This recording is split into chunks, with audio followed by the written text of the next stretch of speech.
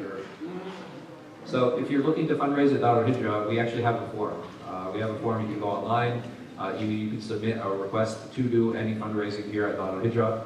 Um, I, sometimes I have youth that approach me, like in high school or college, because there are certain projects that they're part of or something that they want to do. We, we generally allow bake sales. So just let us know, and say, hey, listen, we want to do a bake sale at Darul Hijra. Um, we will allow you space outside to go ahead and make those sales. And that's, that's usually not a problem.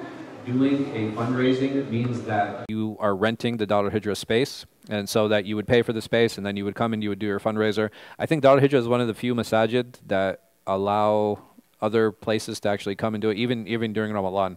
So you, you can you can come and fundraise here, but we have the form online. If you just want to do a bake sale, then just send us an email, and we usually give permission permission for the bake sales.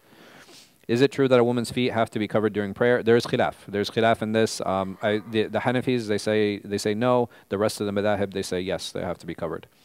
Are sound effects considered music and is it halal to use? Well, the first question is, is music haram? Uh, like I said, there's a difference of opinion on that. Uh, sound effects, some people allow them, some people won't. Uh, you can go back. I've, I've answered this question in detail previously. Does bump, bumping people on accident when getting up from sujood invalidate my salah? No, it doesn't. It's because you're not doing it on purpose. E even purposeful movements, even purposeful movements during salah. Uh, for example, um, if I sneeze and I cover my mouth, right? I'm, I'm doing that on purpose. Uh, the, the sneeze is not voluntary, but the hand movement is voluntary, or sneezing into my sleeve is voluntary. Th those types of movements are allowed. If I have an itch, right, if I scratch myself, these are all makruh, right? It's disliked, but it does not invalidate the salah. Some of the madahib, they actually put number of movements. So if you do three movements, for example, they'll say your salah is invalidated. But as long as you are you are, if somebody looked at you and they would consider you still in prayer, then your prayer would still be valid. But do your best to not move around too much in prayer. If we're unable to make dua in our native tongue in our obligatory prayers, can we really embrace making dua on specific things and in needs for them? Or are they make dua after salah? So I, I know that there are, um, I know sometimes we feel the need to make uh, dua in the prayer because the Prophet ﷺ said that uh, a, the slave is closest to his Lord when he is in sajda, and I, and I understand that and I respect that. But uh, that is not the only place that we have to make dua, right? We can make dua at any time in any place. I uh, sometimes I, I ask myself and I ask others, say, okay, is there a time that any one of us has actually dedicated to make du'a? So um, the hadith of nuzul that we had talked about previously, where the Allah subhanahu wa ta'ala, He descends the last third of the night, and He asks, He says, is there anyone who, who seeks from me? Who's asking from me?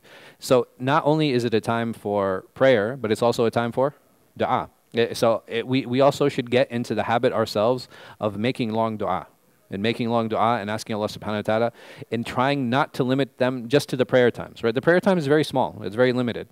But if I'm sitting and I'm actively making dua and I'm speaking to Allah subhanahu wa ta'ala, then I should get into the habit of doing that outside of the prayer as well. Uh, if you forget something out of the prayer and not add, is the sajda sahu any different or is it still two extra after the taslim? It depends on what you forgot, right?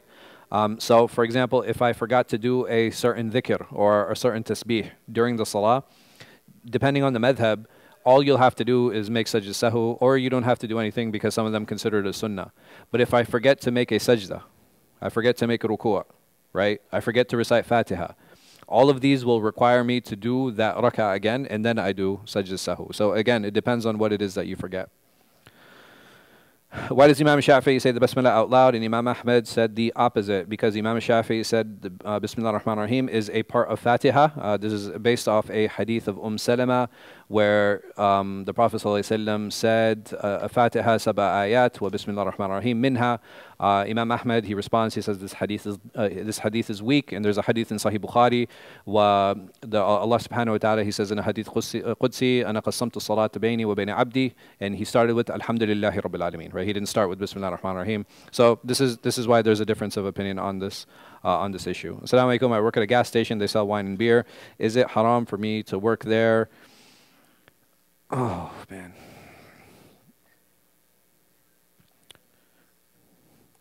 If you cannot find another job, if you cannot find another job, continue working here until you find that job. But try, do not stay here. Do not stay in this job uh, where you have to sell, where you have to sell these things. Um, because the, the issue with being a cashier is you're you're not the seller, right? You're you're just processing sales. These are two different things, right? You're you're not there's there's a difference between owning and selling something, and being paid to provide a particular service. Um, it, it, avoid it. Avoid it. Um, yeah, yeah. I'll, Allah make it easy. Uh, what is the ruling on using tampons? Is it permissible for menstruating women to use tampon? Yes, it is. Uh, so you, you have some, um, there's some cultural hesitation in, in using them in certain cultures where they, they don't allow women to use them. But in general, they're fine. There, there's nothing wrong with using, uh, using them. And um, for the women who need who need to use them, for some women it's more it's actually more convenient.